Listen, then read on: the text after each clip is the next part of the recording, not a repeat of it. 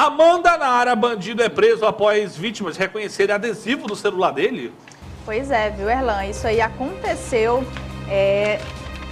Isso aí aconteceu, é, muita, muitas vezes isso acontece, né, gente, aqui no, no Brasil vez, este bandido, ele se deu mal, viu, gente? Ele foi preso após vítimas reconhecerem adesivo em seu celular. Que coisa, hein, Valdeloso? Traz mais informações pra gente, porque realmente a gente quer que o bandido se saia mal nas situações, né? Principalmente quando ele ataca os cidadãos, quando ele realmente faz algum tipo de mal para a sociedade, a gente quer que ele que ele pague pelo que ele faz, né? Isso, Val? É isso, viu, Amandinha? O caso aconteceu em Cascavel, no oeste do Paraná.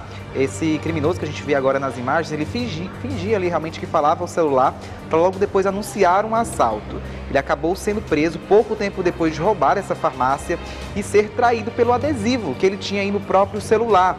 Né? O caso, inclusive essas imagens, né, foram cruciais para que a polícia pudesse chegar ali até este criminoso. Né? As câmeras flagraram a ação, mostraram um homem que fingia ali falar ao celular até se aproximar do caixa ele anunciou o assalto, né? Uh, no momento em que se passava por um cliente e sem nenhuma reação, as funcionárias deram dinheiro e tranquilamente o homem saiu da farmácia. As vítimas acionaram a polícia militar que registrou a ocorrência e encontrou o suspeito horas depois aí essa ação criminosa. E segundo a PM, ele foi reconhecido através dos adesivos que estavam no celular que ele usava.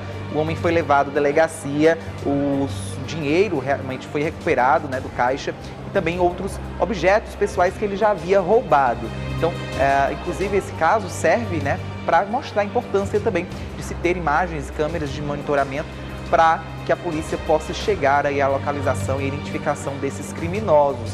Mesmo sendo muito difícil, a polícia consegue ali buscar características, né, sejam físicas ou em nas, nas, no vestimento ou em acessórios que os criminosos possam estar utilizando para chegar até a sua localização e assim efetuar a prisão. Agora a gente torce e espera para que ele permaneça preso, né? Porque afinal de contas, uh, se, logo a polícia faz o seu trabalho, mas a gente sabe que o sistema judiciário tem ali as suas brechas, as suas falhas e logo, infelizmente, esses criminosos acabam voltando para as ruas e cometendo esses mesmos tipos de crime. Impressionante, viu? Bem,